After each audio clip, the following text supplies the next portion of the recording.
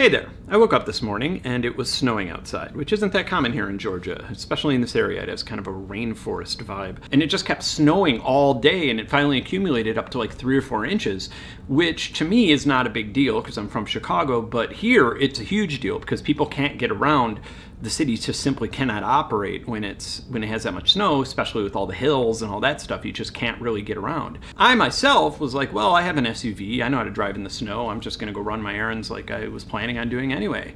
But my car battery had different ideas. The point of me telling you this is because I'm snowed in, which makes tonight the perfect night to start a video on the Axoloti, which is long overdue. It is one of my favorite pieces of gear, despite it costing like 65 euros or 75 bucks or 0.000001 bitcoins, or if you're watching this next week, uh, probably a 2,000 bitcoins. It's very cheap and it is very capable. And if you are into synthesizers or effects pedals or any of that stuff in any way, this is a must have. So let's have a close look at the Axoloti development board and make a drum machine. The Axoloti is just the development board that you see inside this case. And it's a fully assembled development board. It has all the inputs and outputs and everything. It just doesn't come with a case. So if you want a case, you're gonna have to get creative and make one. But that's kind of the idea is because it also has GPIOs and so you might want to put your own knobs on top or you know something like that. If you don't plan on building out the hardware and you don't feel like being creative with case prototyping, I do have these clear ones for sale on alphabasic.com. Um, there's like 30 left or something like that. I just had a bunch made for me and my friends and put the rest up there. It's a good solid case, comes with instructions on how to use it, but this is by no means a plug for that. It's just, if you need a case, I got some extra. So what you're getting with the Axoloti is a stereo input, a stereo output. Both of those are a quarter inch. You're getting an eighth inch headphone out. You're getting a micro USB port, which can be used to either power the device or hook it up to the computer. You're getting a micro SD card slot for holding samples or patches or anything like that. You are getting a USB host slot, so you could actually plug a USB MIDI controller into this thing uh, and a variety of other things. I'm sure there's many other uses that I'm not thinking of right now. And then you have your standard hardware DIN MIDI in and out, and then you even have a little plug for, I think it's five volts. What is it, five volts? I don't know how many volts this uses. I guess I'm just gonna have to put the text up there somewhere. Patches for the Axoloti can be anything from a loop pedal to an effects unit to a synthesizer to a poly synthesizer to a drum machine to uh, I use it all the time as a little MIDI Swiss Army knife to sort of uh, translate MIDI signals between one MIDI device and another. Works absolutely perfectly for that. Everything you make for this is made in the Axoloti Patcher, which looks a bit like Reaktor or PD or something like that. It's a node-based programming language, which isn't really like a programming language. You can also use the Patcher as almost like kind of a synthesizer or a DAW that you're controlling on your computer screen while all the audio is being run on the Axoloti, which is kind of bananas, and I haven't really done it that much because it doesn't seem as responsive as I would like but that is not the intended purpose. It just seems a lot of people use it that way. They make like little 303s and stuff because they just don't feel like hooking up a MIDI controller. But enough about the circuit board. Let's go into the patcher and make a drum machine. And I'm not talking about a little sample player. I'm talking about an actual drum machine where you can modify the sounds in real time with a MIDI controller. Warning, the sound in the remaining portion of this video is not balanced in a way that reflects this channel's standards. This is due to Arturia's horrible ground loop isolation in the BeatStep Pro. This is also due to me underestimating aforementioned ground loop and being lazy about not mixing multiple tracks. But not as lazy as Arturia was about insulating circuits. Wait, before you type that comment. I know about the Y adapter. The Y adapter doesn't help when using the BeatStep Pro connected to an Axoloti connected to the USB port of the PC. Enjoy the ground loop. Alright, so this is the Axoloti software and uh, you could like update your firmware and all that stuff from here. But I'm gonna go to a new patch create that new patch maximize it. And this is pretty much a lot like Max or Reaktor or PD in the fact that it's node based programming essentially. And you one thing I really like about this is you could double click anywhere and you get this window that opens up and then you could just type what you want. Like uh let's say I want a saw um, let's say I want a uh, LFO. Let's say I want a sine. Let's say I want a gate. Um, that makes things a lot quicker.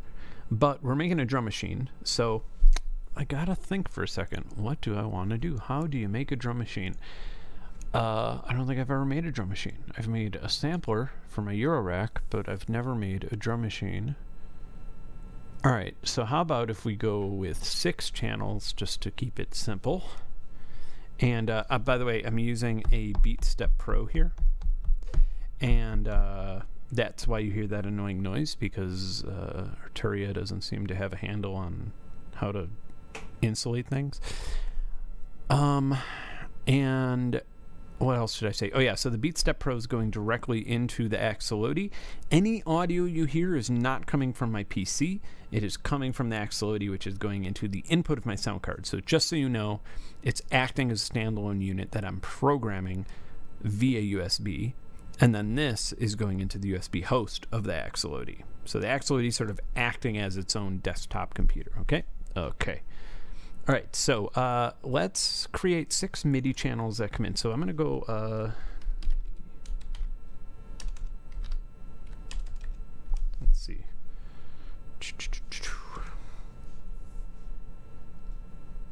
I, I. No, this won't make it monophonic. Even though I do like monophonic drum machines, I, I, I like freak out if I can't. Uh, if I can't make a drum machine monophonic. So I get flashbulb beats. Um, all right, note. That should work. Okay, so this is an individual note. And let's say I want this note to be 24 from the BeatStep Pro. And now I'm just going to copy this five more times.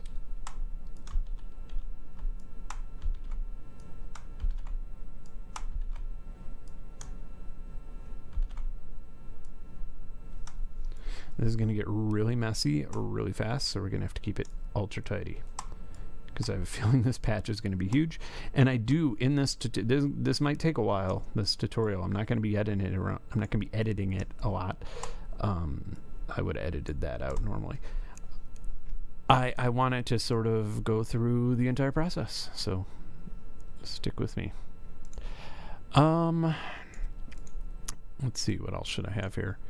Uh, okay, so those are our inputs, and that's coming from, oh yeah, so this should be 25, note number 26, note number 27, note number 28, and note number 29. So that will be C, C sharp, D, D sharp, E, F on my BeatStep Pro, which I will be able to sequence, uh, hopefully. So, all right.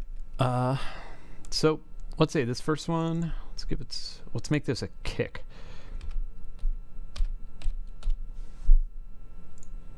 So just a standard ADSR, that will control the pitch of the kick.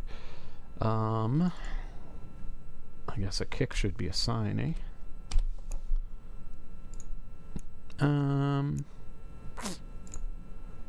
that looks good. Oh, you know what? I want to make an attenuator. And that'll do it. This will attenuate the pitch so it's not going from like the max all the way down. Uh, well, let's see, let's do another ADSR for the actual tone.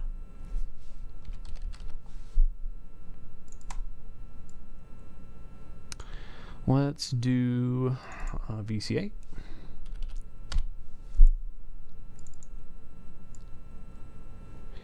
And uh, let's do a mix bus. Can we get a mix? Is there six? That'd be cool. Um,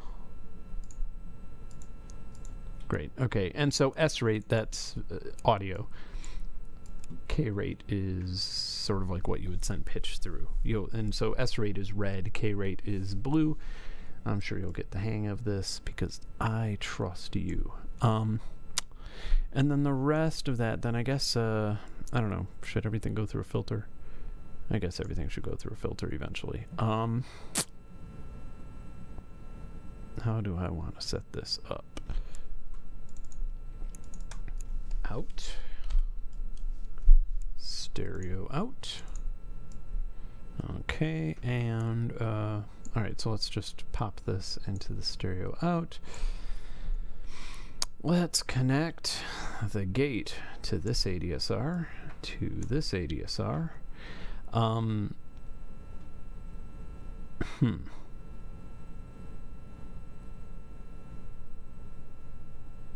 I I have a. F- I'm gonna change some things around in a bit, but we'll we'll just. I'm just sort of like seeing if this will initially work. All right, I don't seem to be forgetting anything. And we're in code. Okay, so now it's live. Let's go back down to. All right, so there is our kick drum, which.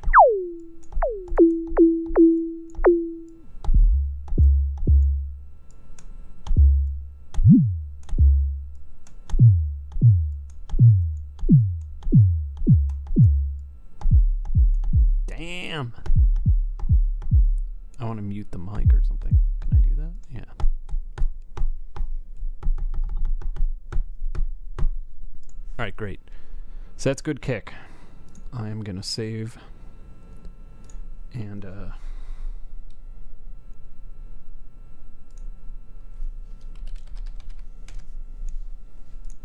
Okay. Uh now let's make, I don't know, a snare. So I'm going to copy this. Um, let's use a pink noise maybe.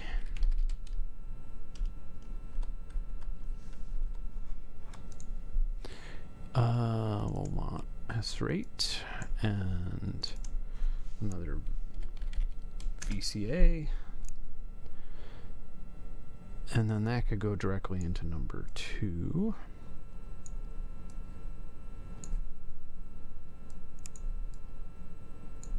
And then the gate will go into the gate. All right, let's try that.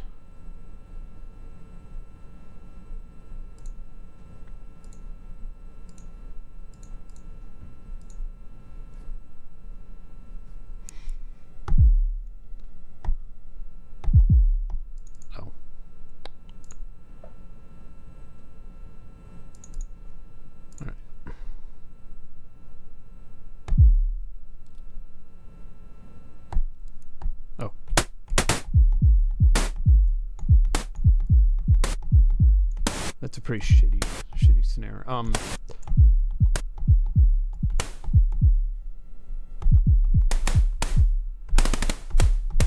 All right, so we have we have poly. Um, maybe move these down a little bit so we could stay organized. Uh, next, I don't know what I want next. Uh, let's just play around with some noises here. Uh, hmm. Maybe next we will go. I'm actually in the other window. I'm looking at a list of objects just to make this a little bit faster than exploring around. Just because it's it's it's been a minute.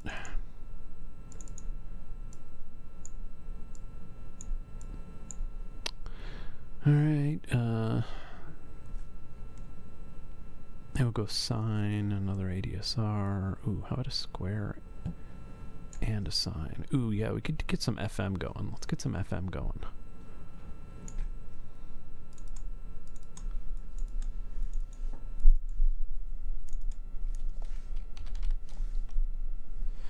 My mouse is, uh, I have this like Razer awesome super gaming mouse and it sucks. It's killing me.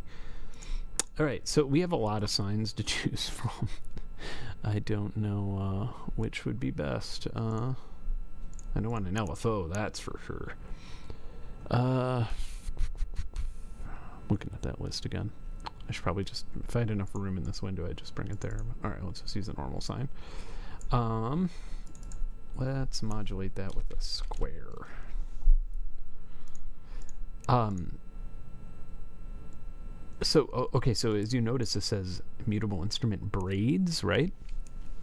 It's actually using the firmware from uh, the actual Eurorack module braids, uh, and there's a lot of stuff. That they you could actually run clouds on Axoloti, and it's quite intuitive. It actually the reverb's not nearly as good as the clouds unit, but you don't get clouds for reverb; you get it for the textural sampling, and that's uh, that's what it does. And I think it it kind of sounds like smoother than the module, which you know makes me feel like a chump for paying so much for the module. Uh, maybe another ADSR that works with the VCA. I should really just be copying and pasting. I like don't want to like move my arm out or something. I'm just too lazy to move my arm out. So, all right. That's a sign of somebody who works on hardware synths too much when you're like too lazy to type something in the keyboard. I don't. But then again, I guess with hardware synths, you're constantly doing movement stuff. All right. What a dumb thing to complain about, eh? All right, so this ADSR will affect. Let's see, we want the sine to come out here. Uh, first, all right, so this ADSR will mess with the pitch of what will be the LFO modulator for the sine wave. And this has never crashed on me by the way. I just save everything like constantly. So just don't don't think that I'm doing it because I'm used to crashes. It's going to crash now that I said that, but All right. So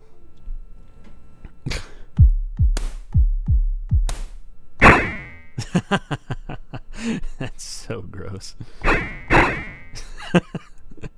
Imagine if my dog just like walked into the room and was like, "All right, let's just make this like a chirp."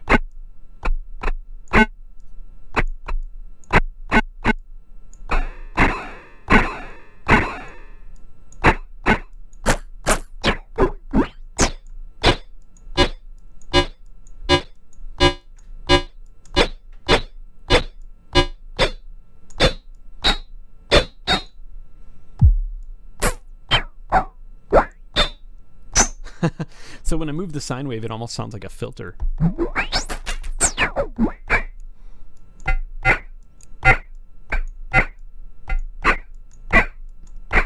Alright, we just need this to be like a tiny sound. There we go. Alright. Alright, so now we got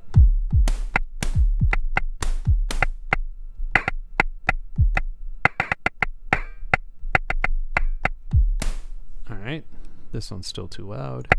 Or maybe this one's too soft. There we go. I like how I could hold these drums. Kind of wish every drum machine did that.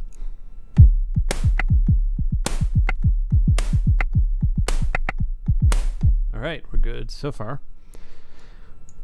So that is three of six. Hmm. Alright, let me look through my options here. I say number four. Let's do some, let's do like some way crazier FM thing with number four.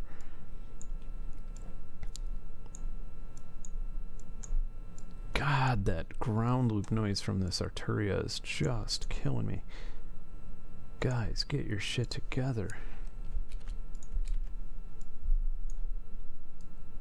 By the way, the BeatStep Pro, aside from that ground loop thing in there, their solution to that is like if you're using it as not a USB host, they give you this uh, this little ghetto cable because they're like, well, we wired this thing wrong, but instead of like fixing it, let's just give everybody a little uh, ground a cable that gets rid of the ground sound, which is just I don't know. Come on, guys. All right, uh, let's see what we got. We got sync square super square. Uh, let's see what else braids has. Can I search braids? Yeah, nice. Question mark. Oh yeah, that question mark oscillator. I love that. At least in the module I do. Um, we always need VCA. Man, they have like eight time eight eight VCA patches. That would have been that'd have been handier if I saw that earlier.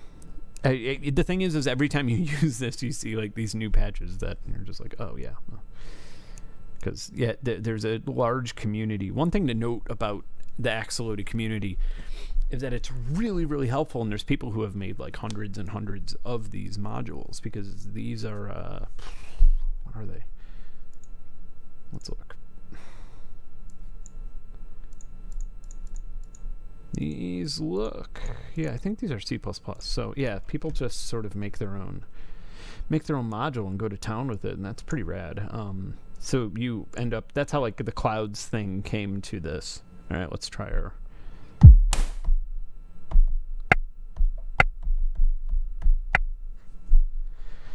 No, sir. That's not working.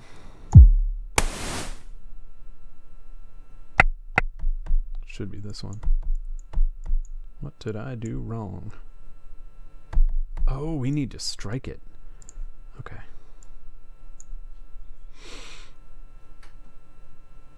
Ah, also, it, it would be probably probably good if the ADSR actually controlled the VCA.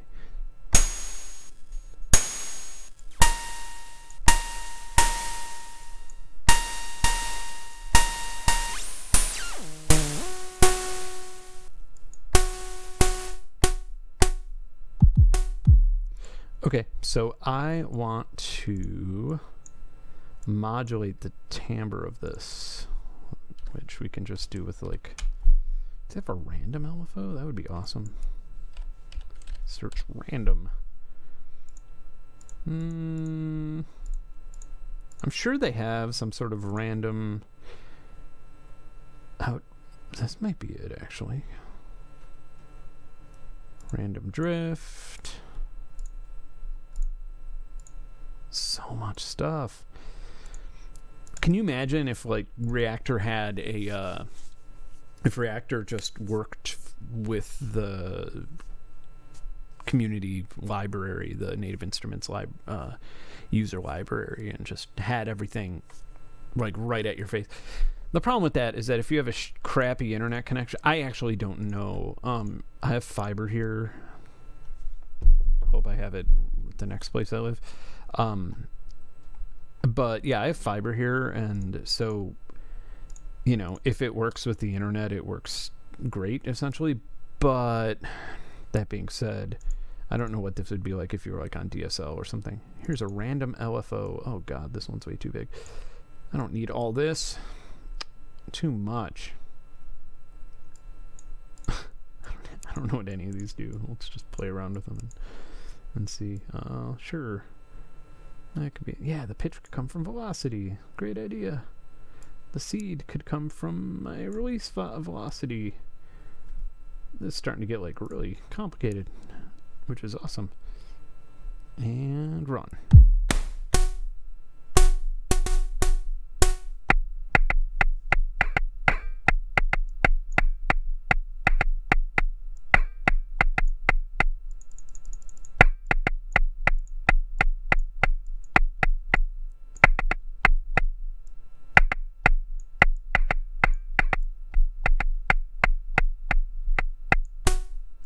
So now we got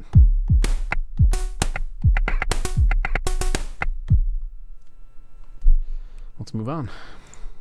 Let's move on to number five. God, this LFO is so big. It's subtle. Or it might not even be working. It might just be so subtle that my ears are that I'm just hearing hearing what I want to hear. Uh what do you think?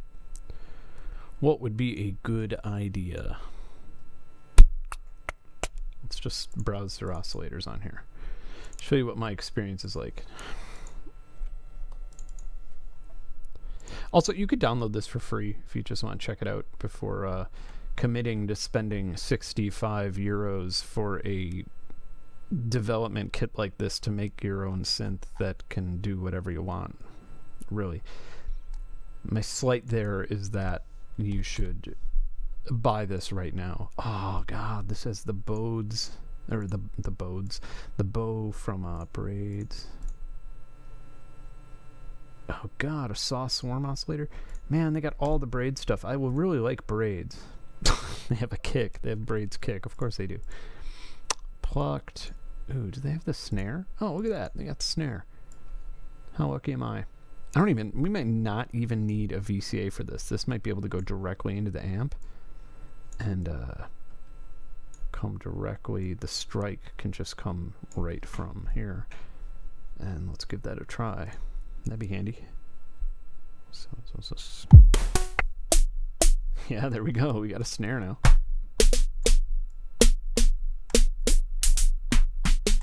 So, again, uh, what we're playing with here is there's a module from Mutable called Braids, and it's kind of a uh, one and all. Like everything can, it, it, does a lot. It has like a lot of different oscillators. It has its own VCA. It has its own uh, uh, ADSR, and it's just kind of one of those like I really need a kick drum now and I don't have 50 modules to make one. So you could just sort of use the braids one. And so the stuff's not great, but that's what it is. Uh, but it's all. If it's here, that tells me that there isn't much sample. There's no sample memory on it aside from waveforms because we get. So. All right, so one, two, three, four, five. We need one more sound, and that other sound should definitely be some sort of hi-hat situation. And so this video doesn't take six weeks to make. Oh God, they have the braids uh, vowel stuff. Man, I love playing with that stuff in my modular. I did. I I like forgot that there was so much so much stuff from braids. Harmonics, that'll work. Except except we're to have to create a VCA and an ADSR. Okay, and VCA. There's like giant things of ice just hitting my skylights, and one of them. How amazing! oh man, it's not a stream, so I would be dead. But um, I, I wouldn't be able to post it. But imagine if just a giant thing of ice just landed on me after I spent my entire life growing up in Chicago and then I moved to Georgia only to get crushed by ice while playing with Axoloti. Alright, and gate here. We should do something interesting with the pitch for this one, maybe some FM or something, but let's see how it sounds first. And every time I click live, I'm compiling. Ooh. This coupled with some noise could be cool. Oh, maybe not. Maybe we don't even need to do that.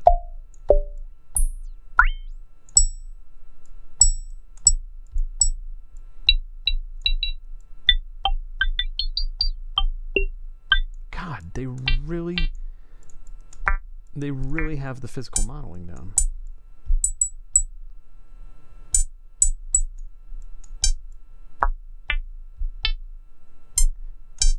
We're going to need to add some FM to this, I've decided.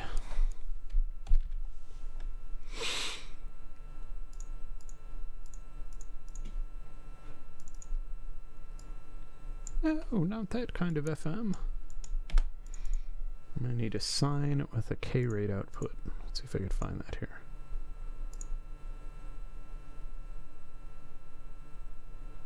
Um, There we go.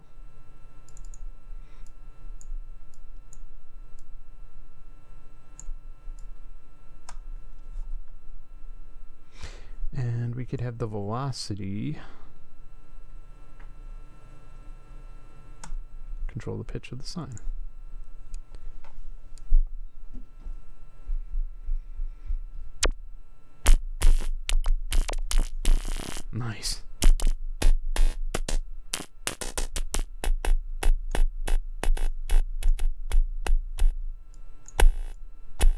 Okay, I don't need to talk anymore, and I'm, I I'm, I know that this is vibrating the hell out of this, so I'm probably gonna remove the low end of this entire part. But okay. Oh no, I can't because I'm recording with. Ah, damn it. All right, I'm gonna shut my mouth, and I'm gonna create a beat.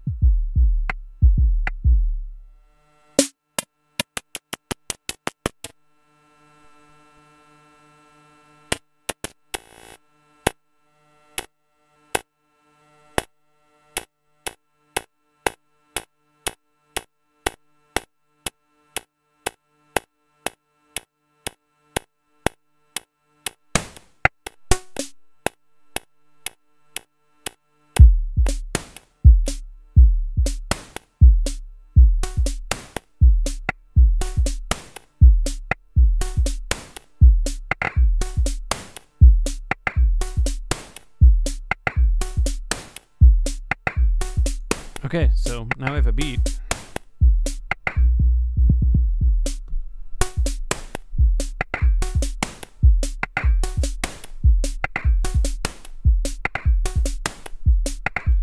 One thing I absolutely love about the uh, BeatStep Pro is that you can randomize stuff. I mean, I, am just going to randomize everything, but like even with melody, if you could you could get really deep. I should do a video on that.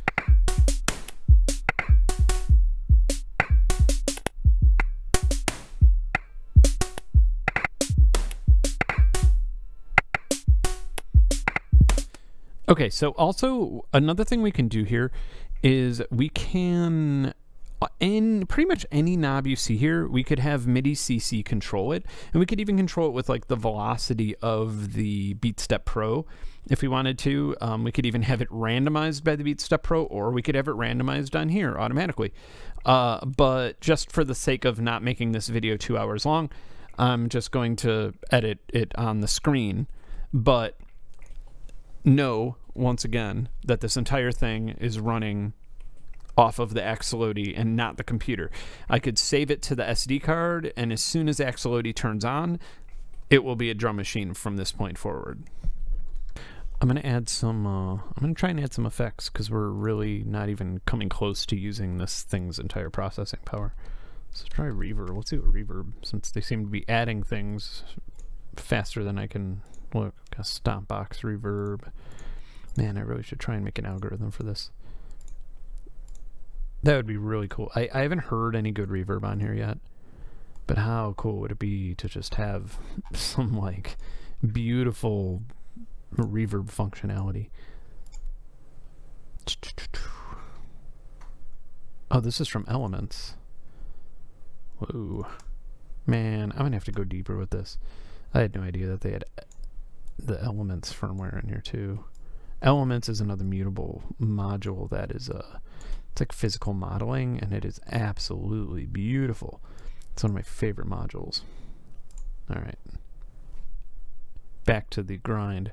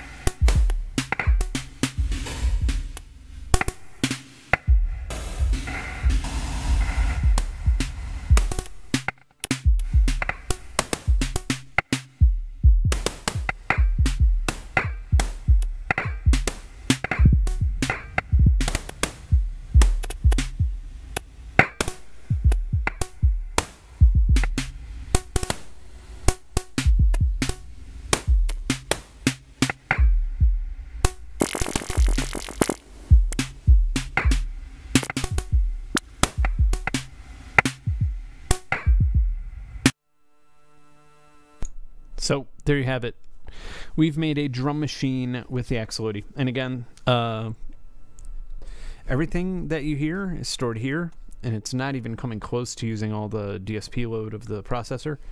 And uh, you can use this anywhere. You could MIDI in, MIDI out. Uh, I've managed to get CV in and CV out of it. Uh, and you have GPIO ports, uh, a lot of them. Um, how many does it have? A lot. Has a lot of GPI ports. I mean, you could put your own potentiometers on here. You don't even have to have a MIDI controller. You could put your own pads on here. You could you could literally create a synth from the ground up, or you could just be touch and go. And you know, like I I got it. I made a case for this, and I bring it on the road with me, and I play. I've made a lot of patches on the road, and maybe hmm, yeah, maybe I should just like go over those on some other video. But anyway, that's the Axoloti, and that's why you need one. And if you have a friend who's into synths, a boyfriend or a girlfriend who's into synths, this is the Christmas gift to get them. It's only 65 euros. I have no affiliation whatsoever with the people who made this. I just heard about it and pre ordered it and loved it to death. And I should probably have another one. Probably have two, considering how often I use them as MIDI Swiss Army knives. But anyway, thanks for watching. I hope this was somewhat entertaining. Uh, I, I kind of hate doing these videos where I'm in a little portion of the screen down here and work. I don't know. For some reason, I just I don't see how they're entertaining. But they apparently most of my views come from videos where I'm a tiny little dude working on a screen rather than uh, something that's more lushly produced of me working on a synth. So, regardless, uh, thanks for watching and buy yourself or your loved one an Axoloti because this thing is amazing. It blows the Nord modular out of the water at what, God, 5% the price. Whew. And hey, as always, if you like what you saw here, subscribe to the channel and let me know in the comments if there's anything you want me to cover in the future. Bye.